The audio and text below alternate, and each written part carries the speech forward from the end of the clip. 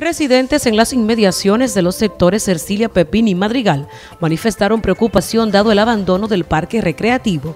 Esto ante la mirada indiferente de las autoridades. La situación de ese parquecito es como intransitable en el camino. Se le ha hecho tan difícil al ayuntamiento y al síndico municipal porque ha mandado más de 10 veces a que hagan a medir y a cuadrar y nunca le ha dado cuadro porque lo que hay que no quieren hacer el parquecito.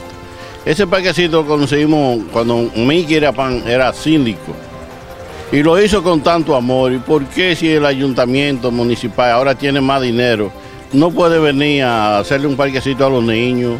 Aquí hay gente responsable que lo pueden cuidar.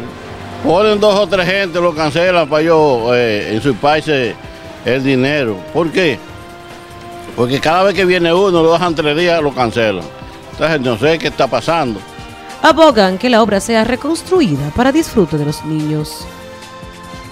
Lo arreglen para los niños porque los niños vienen ahí, quieren recrearse y cosas y jugar y no encuentran. ¿Cómo?